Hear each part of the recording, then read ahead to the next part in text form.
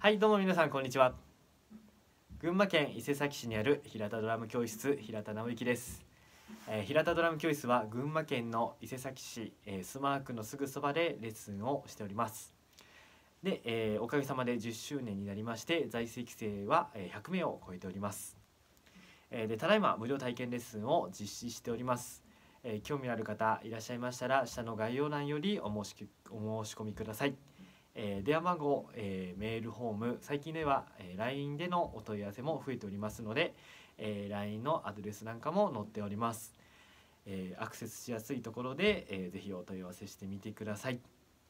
はい、えーさて本日は2月17日、えー現在は、えー10時近辺となっております。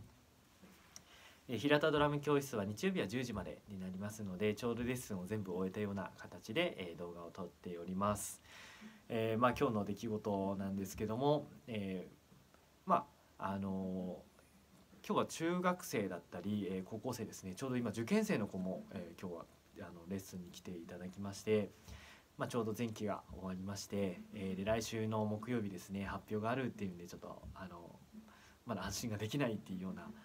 えそんなお話をしてました。で3月の初めですねで後期があるっていうんで、えーまあ、ぜひ頑張っていただければと思います。で、えー中学生高校生なんかも、えーまあ、学年の末試験ですね、まあ、大人になるともう懐かしい限りですね。私も気づいたらもう34になってたので、えーまあ随分昔ですね。学校に通ってたのも随分昔で同級生なんかもあっても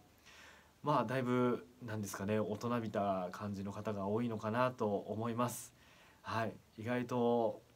まあびっくりしますね。まあ年の話はまあこのくらいにしますが、えーまあ